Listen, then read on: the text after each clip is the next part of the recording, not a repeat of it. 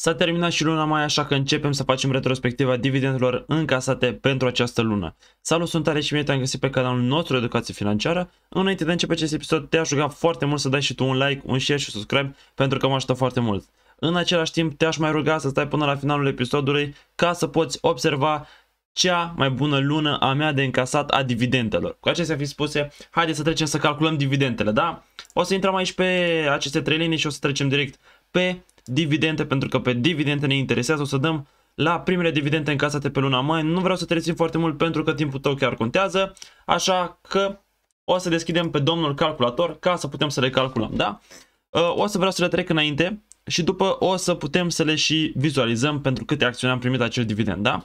O să trecem 1.89 pentru că este dividendul de la Medical Properties Trust, o companie de foarte mult timp în portofoliul meu de investiții care este pe minus în momentul de față. 8.81 de la Verizon Communication și 23.26 încasat de la AT&T. Deci am două companii de telecomunicații și o companie de tip uh, REIT, de tip Trust. Bun, avem Medical Properties Trust, pentru 3 acțiuni am încasat suma de 1,89 avem aici impozitul la sursă de 0,045 de cenți și valoarea totală brută a fost 0,45 de cenți. Impozitarea de 10%, aproape infimă, dar tot este 10% din dividendul pe care trebuia să-l încasăm.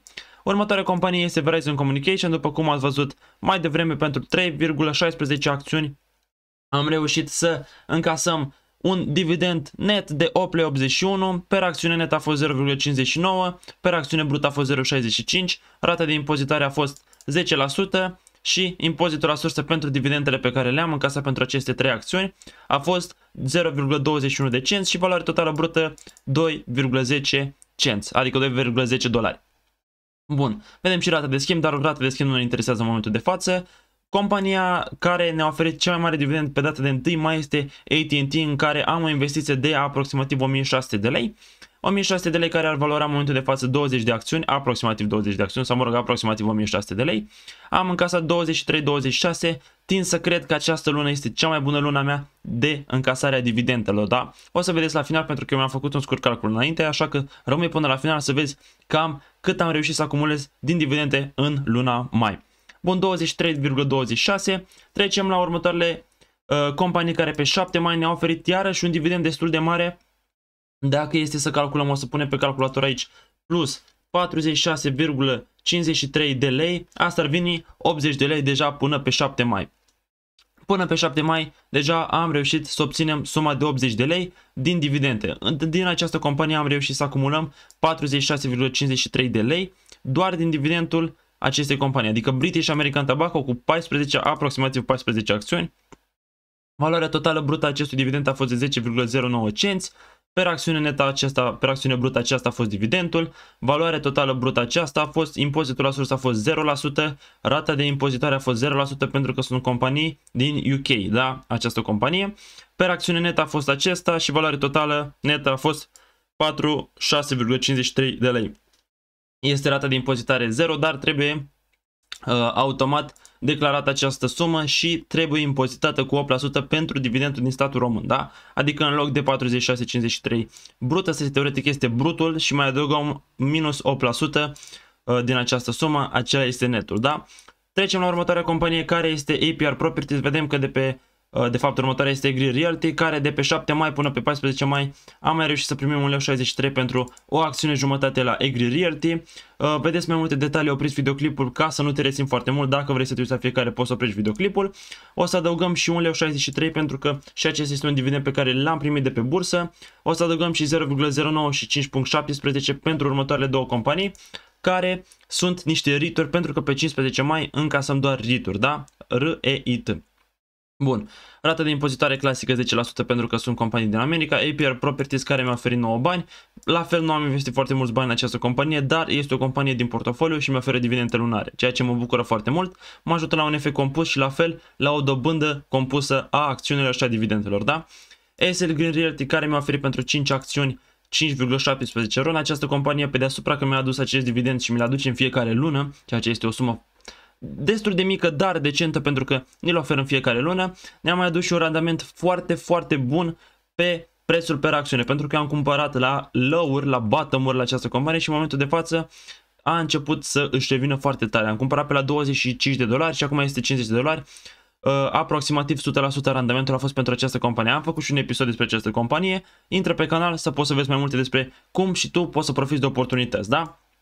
Trecem la următoarea companie care a fost Realty Income, o să adăugăm și pe calculator. Vedeți că Realty Income deja a început să ne ofere un dividend destul de mare, adică 38,72 de ron și am ajuns la 126 de lei doar până pe data de 15 mai. Deci observați că am reușit să acumulăm destul de multe dividende luna mai. 126 de lei mi se pare un randament de dividend destul de mare. Dar continuăm să vedem ce s-a mai întâmplat. Pentru 36,41 de acțiuni am reușit să primim valoarea netă de 38,72. Pe această companie, după cum știți, eu fac și un dollar cost average și la fel uh, luna viitoare să primesc din ce în ce mai mult dividend de la această companie și sper ca până la finalul anului să pot să primesc 50 de lei dividend din această companie în fiecare lună, da? Dacă e să calculăm 50 de lei ori 12 luni, vine 600 de lei pe an, adică 120 de euro din, doar din dividende pe an din această companie, ceea ce mă bucură foarte mult, mă ajută să achiziționez și alte companii și asta este mult mai bine. O să adăugăm și Stag Industrial cu 0,51 pentru că și acesta este un dividend chiar dacă este mic, o să adăugăm și 21,41 pentru Main Street Capital, Vedeți deja că Stag Industrial pentru o acțiune ne oferă 0,51, este o companie care la fel oferă dividende lunare. Dacă e să calculăm 0,51 sau 0,5 ori 12 luni ar veni undeva la 6 lei. Este o sumă foarte mică, dar această companie mă ajută să fac la fel un efect compus. Bun, Main Street Capital 21,41 de lei, deja vedem că dividendele noastre încep să crească din ce în ce mai mult.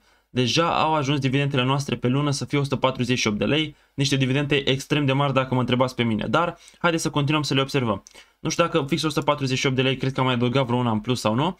Uh, dacă da, lăsați în comentarii să vedeți dacă am greșit puțin calculul sau reușiți să faceți și voi un scurt calcul matematic. Vedem că pentru această acțiune, pentru 21,56 de acțiuni, am primit 21,41 de lei.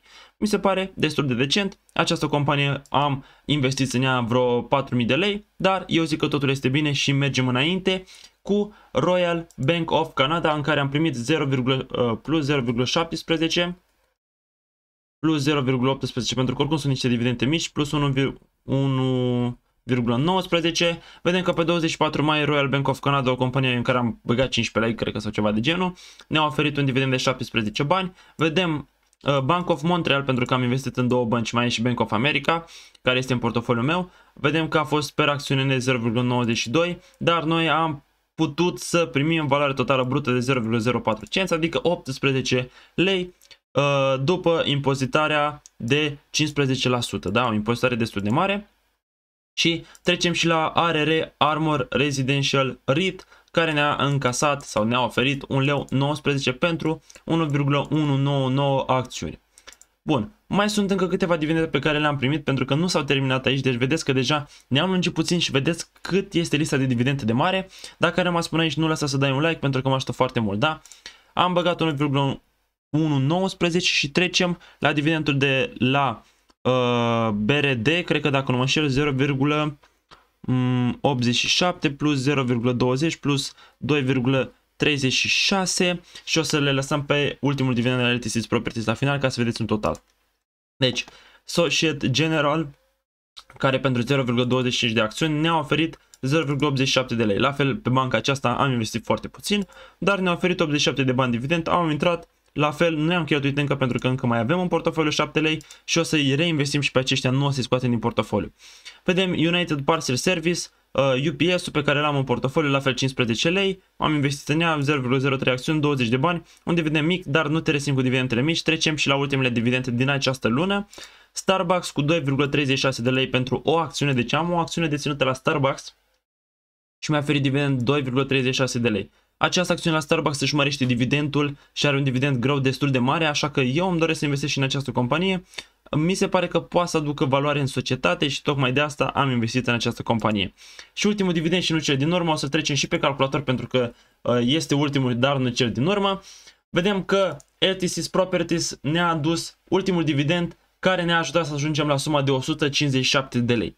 Aproximativ 157 de lei am încasat în luna mai doar din dividende, da? Doar pentru că am lăsat banii să lucreze pentru mine, am reușit să fac un efect compus și un venit pasiv de 157 de lei. Nu vreau să te rețin foarte mult pentru că aceasta este totalul de dividende pe care le-am încasat. LTC Properties, vedeți că ne-a oferit 3,92 uh, pentru 5 acțiuni, o companie destul de bună dacă mă întrebați pe mine. În momentul de față și portofoliul de investiții este destul de plus în momentul de față, da, când înregistrez acest videoclip.